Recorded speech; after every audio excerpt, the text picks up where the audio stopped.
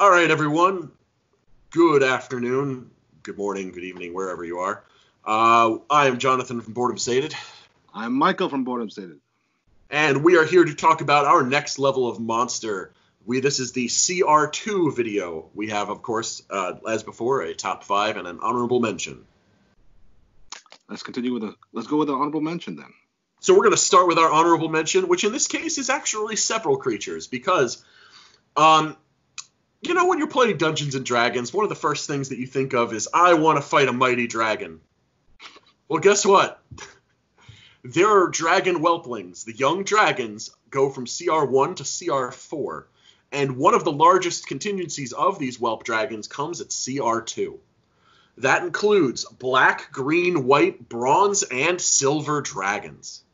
So our uh, honorable mention is these dragonlings. Um, just to give you an idea, these dragonlings are quite strong. They have breath weapons that can do things like 3d8, 4d, 3d10, 4d8, I think 5d6. You're looking at real strong for level two for a CR2 creature.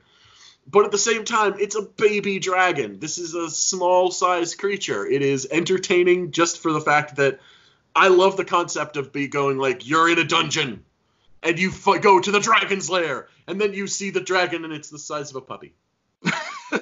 And they can fly, which is always an interesting. Uh, Oh, yeah. Always nice exactly. to throw at them. Uh, also, you could do a for, um, a little uh, building up, like say, oh, there's this horrible dragon coming and burning all my sheep, whatever it is, and you find out after a while, after a couple villagers, like, wait, that thing's the size of a puppy. it's kind of cute. it's a large cat. yeah. Uh, it's uh, I love that. That's one of the reasons why I'm definitely a big fan of the dragon, uh, the dragonling. But at the same time, dragons can be very dangerous, which is the reason why we're going to leave them as our honorable mention. For number five, and we're doing this in a little different order than normal, but I so I'm doing number five as well. Number five is the centaur. Now, I we, we talked about the centaur for a couple of reasons. First of all, for damage, they have this charge attack. yes. The charge attack, uh, if they move at least 30 feet towards a target and then hits it with a pike attack on the same turn, they take an extra 3d6 piercing damage on top of the pike's normal 1d10 plus 4. So a d10 plus 3d6 plus 4 is nothing to sneeze at. So that's a. Oof. What's their uh, movement rate? Uh, they have a movement speed of 50. Oh, they can do a drive-by. Boom. they, they can do a drive-by, and not only that, but also they have very high hit points for a CR2. They have 45 hit points for a CR2 creature. That is massive. Now, the main reason why I at least picked uh, Centaur for this list is because Centaurs are neutral good. Diplomacy is an option, people. There's a lot of parties out there, you murder hobos, that don't go for that. But if you have a party that actually likes to roleplay, you might be able to get the centaurs on your side, or just or be able to uh, reason with them, which is a reason why I think their stats are so strong for a CR2. Yeah, And if you use diplomacy and get them on your side, say two or three, well, then the dungeon master will say, "Oh, hey, that means the encounter next encounter can be a little more tougher." Exactly. Centaurs are a fantastic monster, but again, they are only number five on our list. Which brings us to number four. Now, this particular creature is. Um, have you ever seen the movie The Thing? That's what this thing looks like. It is the gibbering mouther. Exactly. this thing is to say hideous would be an understatement. It's just all eyes and mouths and role playing that thing is hilarious. and gibbering. Now it has some interesting uh, abilities. It can try and bite you if you get close enough to you, uh, but it also has a gibbering ability, which is its why it's named the gibbering mouther. And this causes all sorts of uh, mental um, problems in your party. And um, at CR2, this might be the first time they encounter such a special attack. It can also spit a little bit of acid as well, so it has some range ability. What's uh, but it's not a devastating, not like a breath weapon, but it's still it gives you several different combat options. Plus, it's bloody hideous. I'm gonna go next to number three on our list, which is the ogre. Now, why the ogre, you might ask? It's big, it's brutish. What's not to like? And it hits like a truck. it hits like hard. a truck. It's What's that damage? Oh, ridiculous! ridiculous damage. Um, I think it's like two d eight something. Two d eight uh, plus four is yeah, the base damage of an ogre. Yeah, it is. Uh, yeah, it it does an average of thirteen. I think is the average. I'm like, that's um almost. I mean, that might be a wizard's hit points right there, or sorcerer's hit points at level. Be. You can knock him out. Yeah, and if he gets a crit, forget about it. um, but they are a very easy character, uh, easy monster to fit into your campaign and a wide variety of uh, encounters. A wandering ogre bandit, a guy who's just simply guarding um, this crime lord's treasure. You're like, oh hey, we go in there. Oh, it's Andre the Giant. it's that would be um, my visual for an ogre. Uh, Andre a little bit bigger, but still. Could um, also just be like the bodyguard of the boss. The bodyguard. Just to have that like the big heavy the extra muscle. Yeah. Him in a club is just a devastating combination and definitely a challenge for a CR2 uh, party. Then my uh, next, uh, our next um, choice is number two. Now this is a very situational but an amazingly wonderful um, monster. It is the mimic. The mimic can be anything it wants to be. It's a shape. Uh, um, most people think of the mimic uh, most of the time as a, a, treasure chest.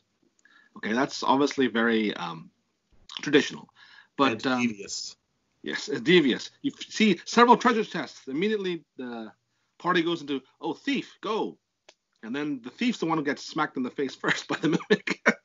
I have seen games, by the way, where the thief yeah. goes and then the thief gets eaten and gets killed in, in like the first round of being attacked by mimics. but the mimic could be other things. It can shape change into almost any type of object. So it could be a, a carpet, it could be a lampshade, anything.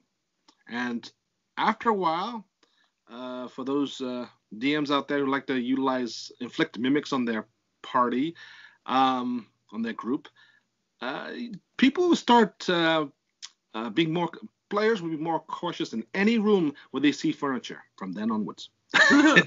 It's true. Uh, quick shout out to um, TFS at the table for using mimics very effectively in their season one, uh, and that's uh, that's to um, uh, Mr. Uh, Zito. Yeah, that was it's great, uh, Chris. Yeah, yeah, he, he he did a great job of making it so that not only that the, the mimics end up being able to mess with characters, they thought almost anything could be a mimic, but the number of things that became mimics, especially in that early part of that season, were fantastic. Yeah. Uh, a lot of people, if you're interested in a very fun and entertaining game, go ahead and check that out. Yeah. You'll see some real fun stuff with mimics as well as some other entertaining things, including something with a centaur. Uh, but that will move on to our number one, and our number one is the Intellect Devourer. Because remember, this list is not for the players. This list is for the GMs the intellect devourer is a dick. a real big, like, just horrible, horrible creature. The, so the intellect devourer has a special ability. First of all, this is the first, um, this is the first illithid type creature. This is a basic mind flayer, and oh my god, is it nasty! Mind flayers. so, it has an ability called devour intellect, and this is its basic attack.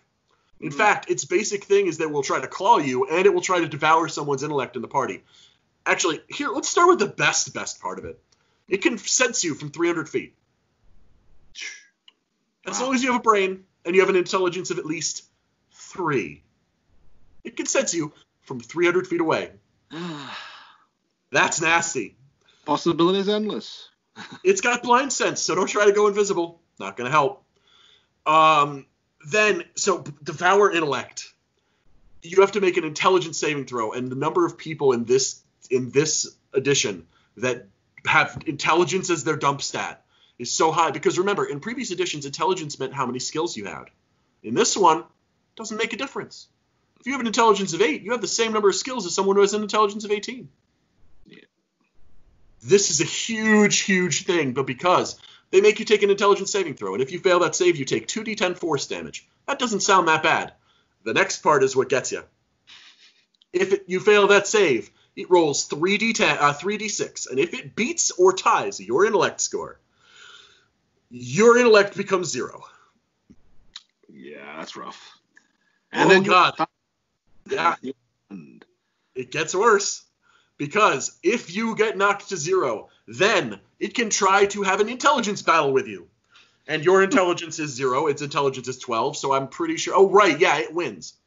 Um, unless it rolls very, very, very, very, very, very poorly. So, what happens is um, it eats your brain, your brain is gone, and it inhabits your body. So you're dead.